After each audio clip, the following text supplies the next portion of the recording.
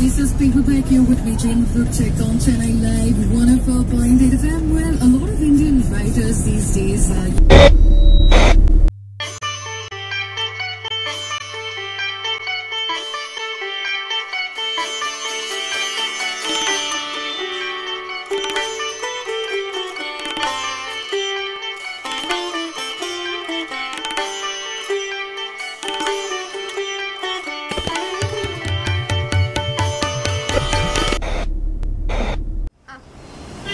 first time I entered, I was a little bit surprised because on the left side they were sitting only the female one, on the right side only male one, when you have space.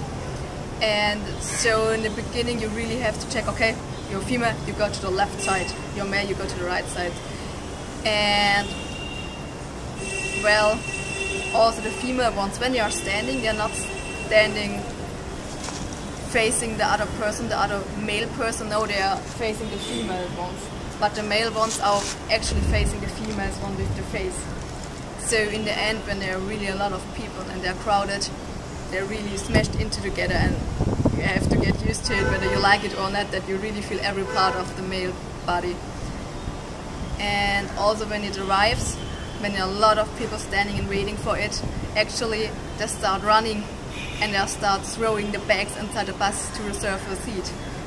And it's also not like they're like, oh, excuse me, could you please move a little bit? I want to go inside there. No, usually they're really rough and trying to get a space, of course.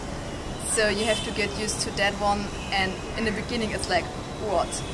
And it's weird. And also, it's really exhausting because you're not used to it. You are tired, and it's to travel in that kind of transportation is really, really tiresome for the beginning and after some time you get used to it and even now I try to bump into the people and get a seat because I don't like to stand like this to another male person or to any other person because it's so exhausting. Yeah. What did I always say?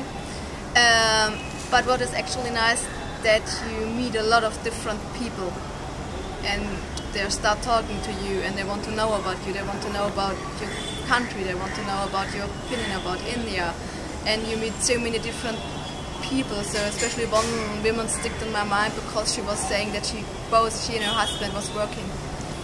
And but in her opinion it's like when both are working, both should work at the household as well. So when she's coming home, her husband is cooking and she's cleaning up after, so she says it's okay. And also, I met one really nice girl and we just decided to be friends, so we are friends right now. So that's it.